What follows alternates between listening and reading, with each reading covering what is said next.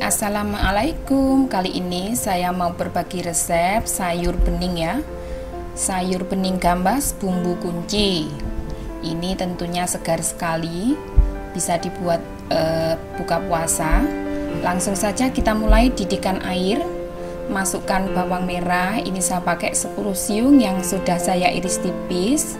Kemudian masukkan pula bawang putih, saya pakai 3 siung saya iris tipis juga.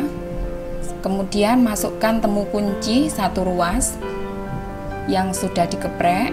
Lalu tomat iris saya pakai satu buah ya ukuran kecil. Kemudian kita masukkan wortel iris. Ini saya pakai dua buah wortel. Saya iris serong seperti ini Kemudian kita masukkan jagung pipil atau jagung sisir ya. Ini satu buah jagung, yang satunya saya potong-potong besar ya. Yang satunya saya iris tipis. Ini yang saya potong-potong. Kemudian kita tunggu hingga lebih mendidih lagi. Jika ada busanya di bagian atas, kita harus buang ya teman-teman. Kita buang seperti ini agar kuahnya tetap jernih.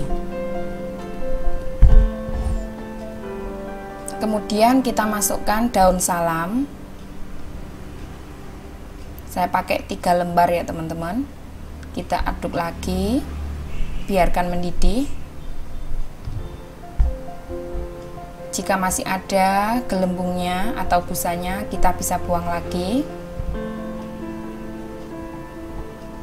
seperti ini.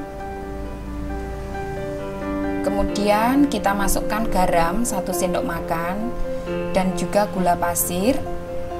Saya pakai setengah sendok makan. Yang terakhir jika semua sudah e, masuk kita masukkan yang e, oyong gambasnya ya teman-teman. Semua bumbu sudah masuk. Yang terakhir kita masakkan kita masukkan oyong gambasnya biarkan hingga mendidih atau gambasnya mateng ya. Kita masukkan paling akhir ini untuk gambasnya karena mudah sekali masak. Yang terakhir kaldu bubuk ini boleh dipakai boleh tidak sesuai dengan selera. Sudah mateng ya teman-teman. Oke terima kasih sudah menyaksikan video kami. Jangan lupa like, comment, share dan juga subscribe. Wassalamualaikum warahmatullahi wabarakatuh